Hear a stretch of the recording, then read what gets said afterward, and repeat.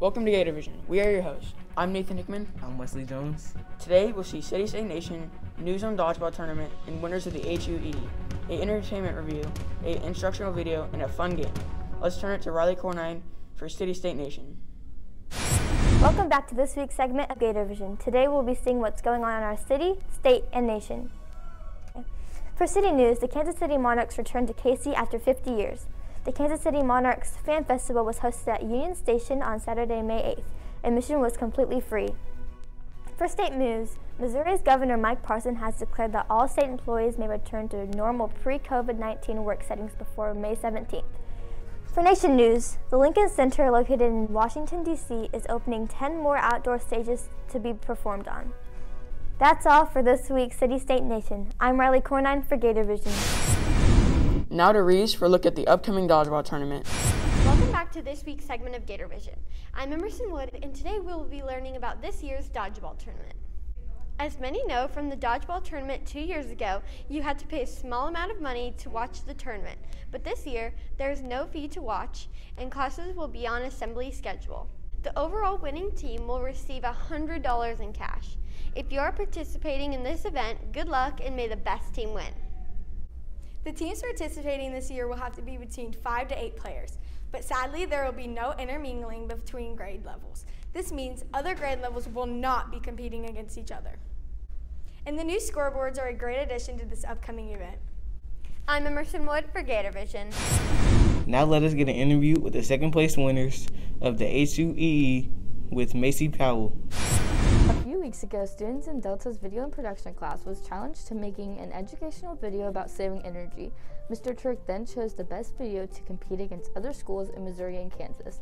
Delta finished with proud second, winning $2,000. With this money, we plan to purchase a farm bot for our greenhouse. This will help grow crops, test the soils, and help weed. Let's go talk to our winners, Eva and Olivia. What was your initial reaction to getting chosen to compete against other schools? Um, I was honestly kind of shocked because I thought there were other groups that were better than ours, but he liked ours better, so I was kind of happy. How do you feel about getting second place? Uh, we were really proud to get second place in this contest because it was just a big thing winning $2,000 for the school, and we're proud of Harrisonville for getting first. What was your plan slash idea for this project? Um, well, because of all the Texas blackouts, we thought it'd be a good idea to do something that had to do with blackouts and stuff like that. What do you do to save energy at home? Um, I turn off all my lights and unplug all my chargers after like leaving the house and just normal stuff like that. That's all for this interview with our HUEE winners. If you see them in the hallway, be sure to congratulate them. And remember to always try your best to save energy on your own. This has been Quincy Cox for Gator Vision. Now on to Olivia Rosenblum with an entertainment review. Katie used to be my little buddy. The Mitchells vs. the Machines is a new movie that came out April 23, 2021, produced by Sony. Are you excited for camp? Don't make me go. When we used to be so connected. Hey, Dad, smile. You know, you could experience things a whole lot better without that camera. Dad, this is how I experience things. I don't think. yes, tomorrow I'm finally leaving for college.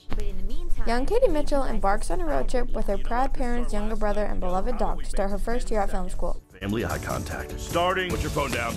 Now. No, you're allowed to blink. It's just eye contact. Ugh, finally. No screens at the table. Lynn, why are you kicking me? I don't understand. I'm just gonna. No, look, I'll watch it. Katie Mitchell is a quirky and aspiring filmmaker in Michigan and has recently been accepted into film school in California.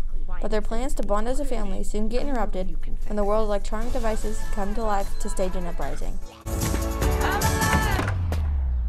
Why do you need all that to take me to the airport? I canceled your plane ticket to college. We are going to drive you to school on a cross country road trip as a family. This new movie has a 98% on Rotten Tomatoes, is an hour and 49 minutes long. The film was originally planned to be released in theaters by Sony Pictures under the title Connected in 2020, but due to the impact of COVID-19 pandemic on the movie theaters, Sony sold the distribution main rights to Netflix. Our biggest invention yet.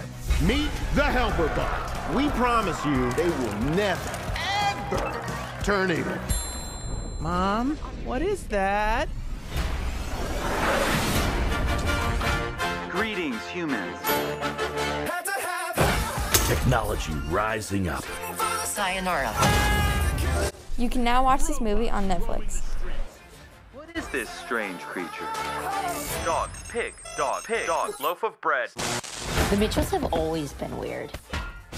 Now on to Isabel Bailey with an instructional video. Welcome to this week's instructional segment of Gator Vision. I'm Isabel Bailey and we will be showing you how to make Shirley Temples.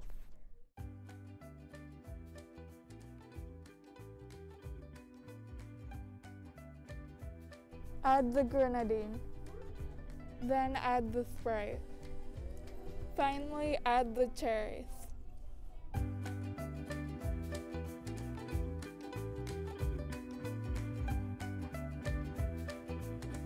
Now you know how to make Shirley Temples. I'm Shine Paris for Gator Vision. That looks great. I'll have to try that at home.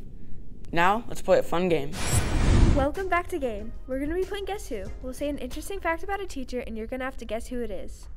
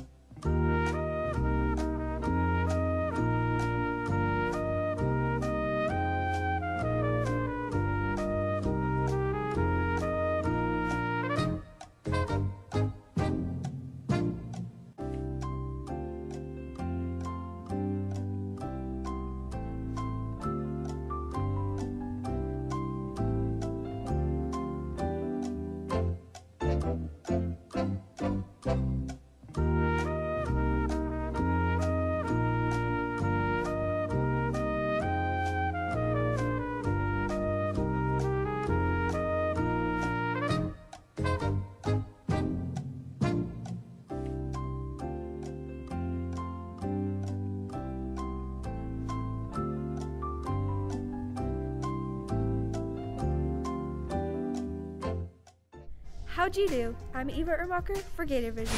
I'm Nathan Hickman. And I'm Wesley Jones for Gator Vision.